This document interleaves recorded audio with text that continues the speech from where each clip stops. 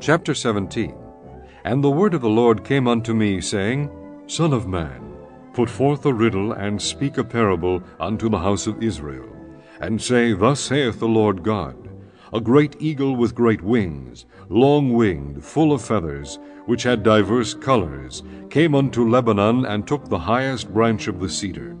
He cropped off the top of his young twigs, and carried it into a land of traffic. He set it in a city of merchants. He took also of the seed of the land, and planted it in a fruitful field. He placed it by waters, and set it as a willow tree. And it grew, and became a spreading vine of low stature, whose branches turned toward him, and the roots thereof were under him. So it became a vine, and brought forth branches, and shot forth sprigs. There was also another great eagle with great wings and many feathers. And behold, this vine did bend her roots toward him, and shot forth her branches toward him, that he might water it by the furrows of her plantation. It was planted in a good soil, by great waters, that it might bring forth branches, and that it might bear fruit, that it might be a goodly vine. Say thou, Thus saith the Lord God, Shall it prosper? Shall he not pull up the roots thereof, and cut off the fruit thereof, that it wither? It shall wither in all the leaves of her spring, even without great power or many people to pluck it up by the roots thereof. Yea, behold, being planted, shall it prosper? Shall it not utterly wither, when the east wind toucheth it? It shall wither in the furrows where it grew. Moreover, the word of the Lord came unto me, saying, Say now to the rebellious house, Know ye not what these things mean?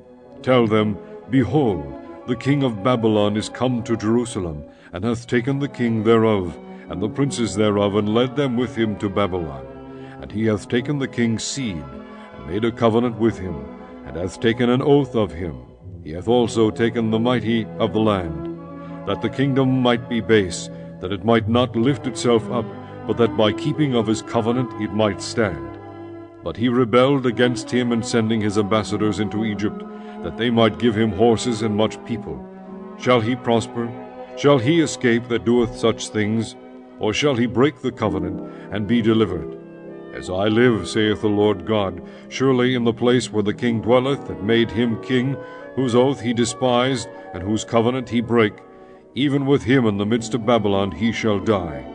Neither shall Pharaoh with his mighty army and great company make for him in the war, by casting up mounts and building forts to cut off many persons. Seeing he despised the oath by breaking the covenant, when, lo, he had given his hand, and hath done all these things, he shall not escape. Therefore thus saith the Lord God, As I live, surely mine oath that he hath despised, and mine covenant that he hath broken, even it will I recompense upon his own head. And I will spread my net upon him, and he shall be taken in my snare, and I will bring him to Babylon, and will plead with him there for his trespass that he hath trespassed against me. And all his fugitives with all his bands shall fall by the sword, and they that remain shall be scattered toward all winds. And ye shall know that I, the Lord, have spoken it. Thus saith the Lord God, I will also take of the highest branch of the high cedar, and will set it.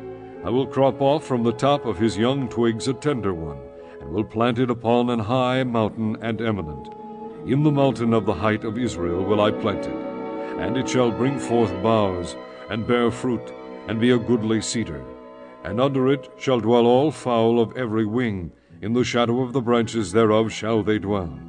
And all the trees of the field shall know that I, the Lord, have brought down the high tree, have exalted the low tree, have dried up the green tree, and have made the dry tree to flourish. I, the Lord, have spoken and have done it.